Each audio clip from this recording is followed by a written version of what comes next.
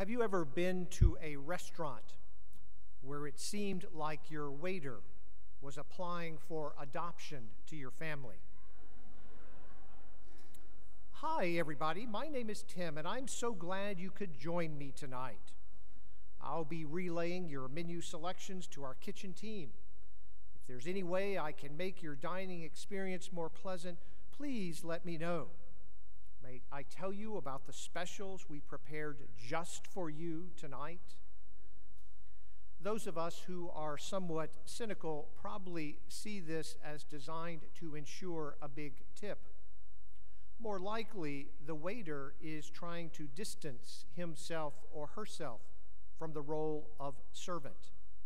Many, if not most of us, don't like people to think of us as their servant even if we are enamored by Downton Abbey, there has to be something about that that rubs us the, long, the wrong way, that some will always be destined to serve others, while others are destined to be served. When I was growing up, there were a couple occasions when we would have a maid come to the house. In theory, this was designed to take some of the burden off my mother who was recovering after a stay in the hospital. But the reality was that my mother would drive herself to exhaustion the day before the maid arrived, trying to make the house spotless. She would have been deeply embarrassed if anyone thought she really needed someone's help to keep the house clean. Moreover, my mother, like many of us, I suspect, just wasn't comfortable with having someone as a servant. Perhaps our hesitancy to be put in the role of a servant or to have someone else serve us can be traced to the founding of our country that was supposedly built on the idea that all men are created equal, or to the Civil War and our troubled history of race relations, or to the struggle in more recent years for women to gain equality. But whatever the reason, the idea of slavery and servants is difficult for us to relate to. That in turn can make it difficult for us to relate to today's gospel reading. In the time of Jesus, it is estimated that three fourths of all people were enslaved at some point in their lives. Slavery was something that everyone took for granted and could relate to. This is not to say that they liked it or that it was something they approved of. They just assumed that it was a fact of life. But it is not a fact of our life. So, what could Jesus be saying to us in this reading? It is helpful to put the reading into context. Just before the passage we heard today, Jesus warned his disciples that no matter how hard they tried, sin is inevitable. Sin is inevitable.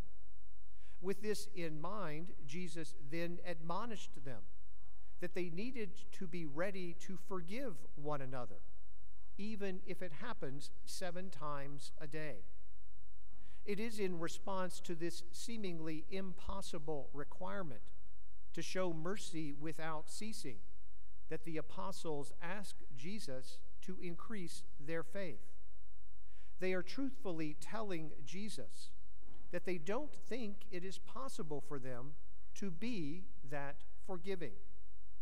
And Jesus, in effect, agrees with them, acknowledging that the faith they currently possess isn't sufficient.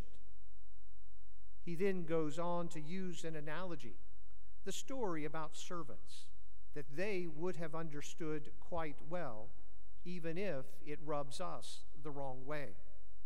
Jesus is telling his disciples that the ability to forgive one another is not simply a matter of faith.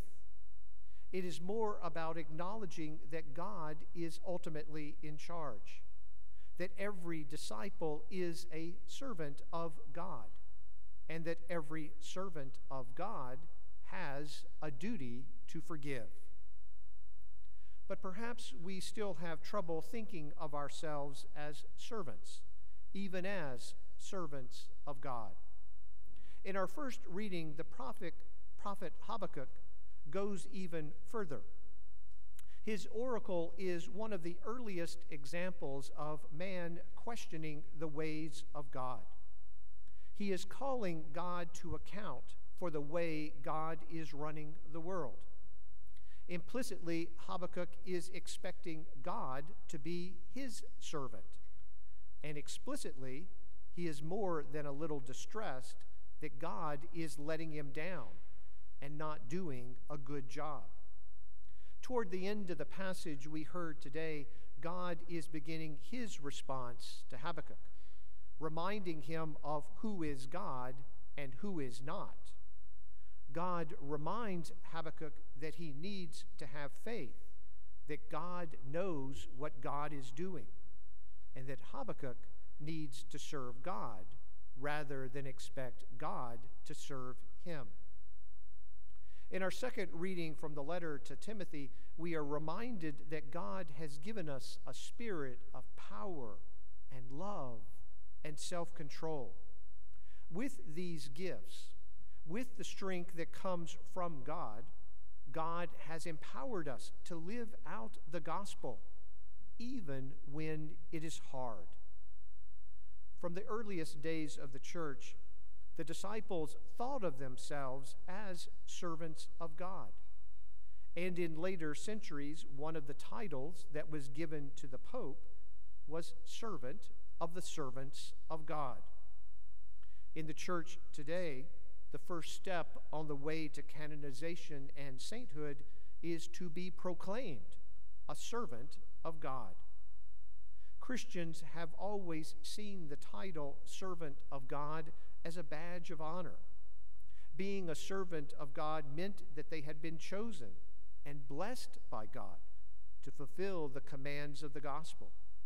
And they fulfilled their duty as servant of God by caring for and forgiving one another.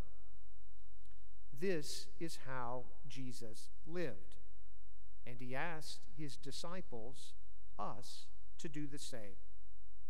Let us pray that we can serve God and one another with integrity and joy, always willing to forgive. If today you hear God's voice, harden not your heart